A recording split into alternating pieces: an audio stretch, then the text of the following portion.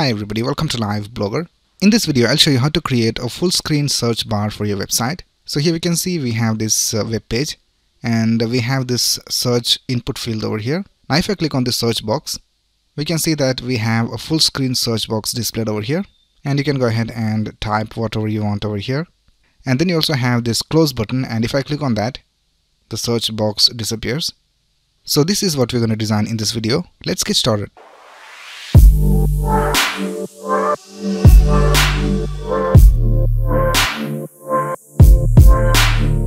Alright, here I have created this folder called full screen search and I just opened it with VS Code. Now let's create an HTML file. So let's click on new file and I'll just name it index.html. And we also need to have a CSS file. So I'll just create a new file and I'll just name it style.css. And then we need to have a JavaScript file. So let's create a new file and I'll just name it main.js. Alright, let's start with the index.html file and in VS Code you have a shortcut where you can just press exclamation and press tab and you'll have this basic HTML5 code. And here I'll just link our CSS file so I'll just type link and press tab and in the href I'll just type style.css and I will also link our JavaScript file over here so I'll just type script colon src and press tab. And here in the src I'll just type main.js now let's start by creating a header so I'll just type header and in the header we need to have a logo on the left and the search box on the right. So let's create a division with the class of logo. And here I'll just type lb dot. Now let's create a division with the class of search container. And in that we will have the search box. So for that I'll just create a division with the class of search box. And in the search box I'll just have a form. Now in the form we will have an input field. And uh, for the placeholder I'll just type search here and if you go back to our design, we can see that we also have an icon over here. So for this icon, we will use Font Awesome icons. So just Google for Font Awesome 5 CDN and you will find this link of cdnjs.com. So let's go to the link and I'll just copy this link from here, all.min.css. And let's go back and paste it in the head section. So I'll just paste it over here. Right now in this form, we will also add an icon for search. And here I'm in fontawesome.com website and let's search for the search icon and let's click on this icon. And let's click on this code to copy it. And uh, I'll just paste it over here inside the form. Now below the header I'll just create a couple of paragraphs. So I'll just create a p tag. And here I'll just type lorem 100 and press tab. And here we can see we have 100 words of random text. I'll just copy this and paste it a couple more times. Alright now let's open this in our browser. So I have this extension called live server installed in VS Code so you can just install this and uh, once you do that, you can just right click over here in the HTML and click on open with live server. And here you can see this is how our website looks right now. Now let's style this using CSS. So let's go back and let's go to our style.css file. First of all, let's style the header. So I'll just type header and for the header, we will set a display of flex so that the logo and the search box will be one next to the other. Now we want this logo to be on this left side and this uh, search box to be on the right side. So for that you can just type justify content and set it to space between. Now let's set a maximum width to this header. So let's type max width and I'll just set it to 800 pixels. And we'll also bring it to the center. So let's type margin 0 for top and bottom and for left and right we will type auto. Let's also set the font family to Roboto. So I'll just type font family Roboto sans serif and we'll also add a padding of 8 pixels. Alright, that's it with the styling of the header. Now let's style this logo. So for the logo, we have a class of logo. So let's target that. So here just type header logo and we'll set the font size to 36 pixels and we'll also set the font weight to 900. Alright, that's it with the logo. Now let's style this search box. So first of all, let's target this input field. So I'll just type search container input and we'll set the font size to 16 pixels. And we'll also set a padding of 16 pixels top and bottom and 32 pixels left and right. And let's also have rounded corners. So for that I'll just type border radius and we'll just set it to 4 pixels. And let's also remove this uh, border. So for that I'll just type border and set it to none. And now if we click on this search box, we can see that we have this outline. So we'll remove that as well. So let's go back and uh, let's type search container input colon focus and here we'll just type outline and set it to none now if we click on this input field we can see that we don't have the outline now let's set a background color to this input field so let's go back and here in the input I'll just type background and we'll set the background to EF EF EF alright here is our input field. Alright now the next thing we need to do is we need to position this icon inside this input field. So for that let's go back and let's set the position of the form to relative. So here we can see we have this form and in that we have the input field and also the search icon. So let's set the position of this form to relative. So here I'll just type search container form and position relative and now let's style the search icon. Now we will add the search icon inside a division. So let's create a division with the class of search icon. And I'll just move this icon inside this division. Right now let's style this search icon division. So let's go back and let's type search container search icon and we'll set the position to absolute. Now this search icon will be positioned relative to the form so now if we go back we can see that the search icon is inside the input field. Now let's set the left and the top position. So let's go back and let's type top of 50% and now we can see that it starts from 50% mark. So we have to move it up a little bit. So for that we can just type transform translate y and set it to negative 50% and now we can see that it is exactly in the center. Now let's add a left position. So I'll just type left 16 pixels and we'll also set the color of the text to light gray. Now here we can see because of this icon we need to have more space over here on the left.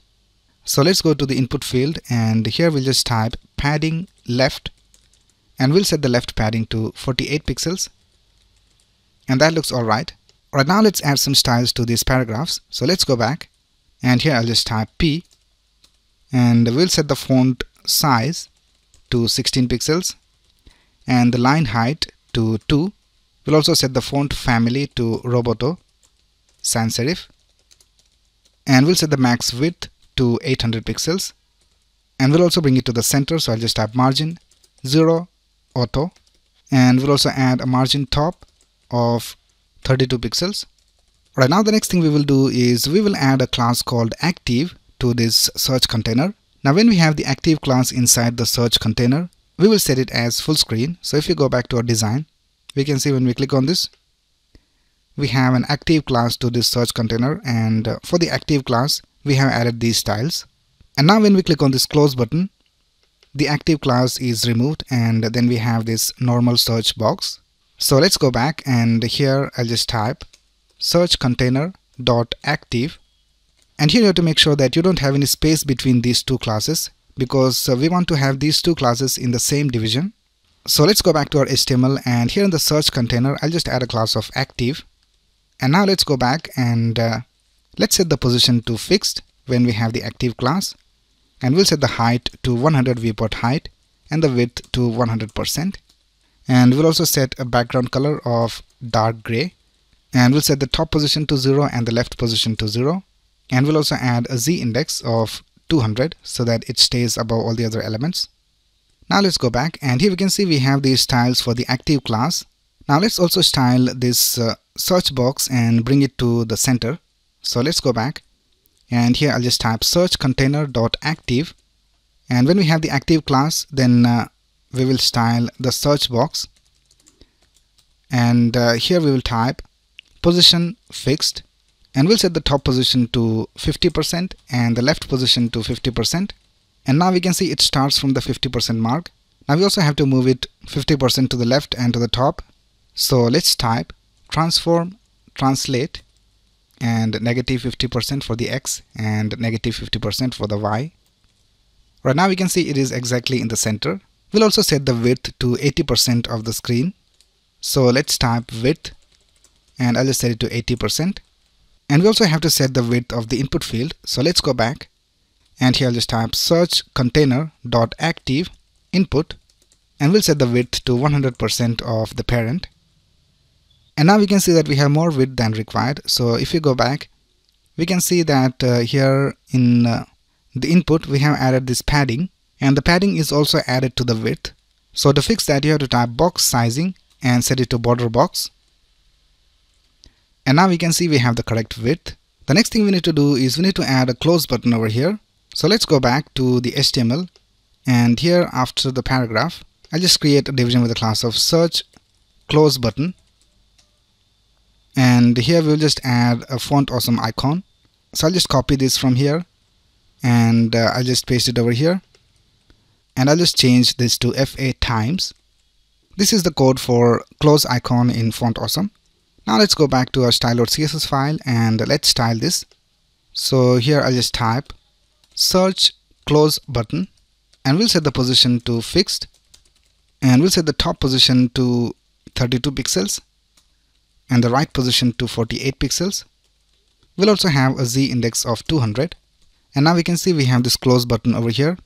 Let's set the color of the text to light gray and we'll set the font size to 36 pixels. And we'll also set the cursor to pointer. So now when we hover over this we have this pointer. Now we want to display this close icon only when we are on a full screen search mode. So let's go back. And uh, we will set the display to none. And we will set the display back to block using JavaScript. Alright that's it with our CSS now let's go back to our HTML and let's remove this active class from here inside the search container alright now let's write some JavaScript to add and remove the active class from the search container. So let's go back. And uh, in the HTML we have already linked our JavaScript file over here. Now we need to reference some of these HTML elements from here. So we need to reference the search close button. And we need to reference this input field. And we also need to reference this search container because we need to add the active class to the search container. So let's go to our main.js file and uh, let's type const. And I'll just name this search input and we'll just set it to document.querySelector and here we need to type search container input. And the next thing we need to reference is the search container. So let's type const. Search container equals document.querySelector search container. And then we also need to reference the close button. So let's type const. Search close button equals document.querySelector search close button Right now let's add an event listener to this search input. So let's type search input dot add event listener and we will listen for the click event and here I'll just create an arrow function. Now when we click on this input field we need to add the active class to this search container. So here we will just type search container dot class list dot add and here I'll just type active and let's go back to our style.css file and uh, in the search container I'll also add a transition so that we will have smooth animation. So here I'll just type search container and I'll just type transition of all to 500 milliseconds ease. Alright let's go back and uh, now when we click on this close button we need to remove the active class from the search container. So let's type search close button dot add event listener and we will type click and let's create an arrow function and uh, let's type search container dot class list dot remove. Active. Now if you go back to our style.css file we can see that for the close button we have set a display of none. So we have to change the display back to block in our javascript. So let's go back. And here i'll just type search close button dot style dot display equals block. And I'll just copy this line of code from here and paste it down here. And here I'll just type none now when we click on this close button, we also want to remove the text that we had in the input field. So let's type search input dot value and we'll just set it to blank. Alright, now let's go back to our design and let's see whether everything works alright. So let's click on this input field. And now we can see we have the search box displayed over here in full screen. And if we click on this close button, it goes back. So everything is working alright. So that's basically how you create a full screen search box for your website. Now in the next video I'll show you how to add this full screen search box to your blogger website. So that's it for this video. If you have any doubts you can ask in the comments below. And if you like this video please click on the like button and subscribe to this channel to get the latest video updates. Thanks a lot for watching. Have a nice day.